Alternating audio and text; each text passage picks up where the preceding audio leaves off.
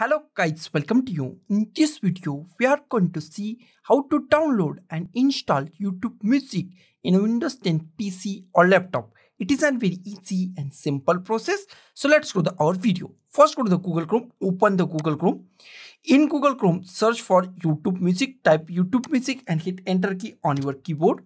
First link is from the YouTube Music, music.youtube.com official website of YouTube Music. Open that link, first link here we find YouTube Music official website. On Google Chrome, at the top, we find three dot. Click on these three dot. Scroll down and find save and share. Go to the save and share. In save and share, we find install YouTube Music. Click on install YouTube Music. Here we find install or cancel. Click on install. And new window is pop up. Close it.